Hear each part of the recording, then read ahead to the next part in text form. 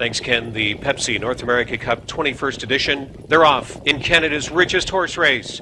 Pan Pacific Flight down along the inside. Look to take back a little bit there. Village Hero wanting to be the first leader. Metropolitan is going to measure the front end. Rogue Hall along the inside. Pan Pacific Flight in the Preacher Pan moving on over in very tight quarters. Leaving along the inside was Western Terror, but he is in sixth position. Still far outside. Camelot Hall is seventh. Georgia Pacific is eighth away. Mantacular is ninth ninth. Rapid Dialing was 10th. Village Hero, Metropolitan up on the outside. They battled out the quarter in 25 and 4. John Campbell's going to make front, but he paid for the privilege. 25 and 4 opening split. Metropolitan made the lead. Rogue Hall is pulling on him quickly. Village Hero on the inside third. Pan Pacific Flight is fourth in the backstretch. Georgia Pacific up on the move up into the top five. Staying in Western Terror is sixth. Mantacular seventh on the outside. Rapid Dialing is eighth. Camelot Hall is ninth, and the Preacher Pan is tenth. Rogue Hall has made the lead. Half a mile in 54 and 2, 27 and 3 second quarter. That opening split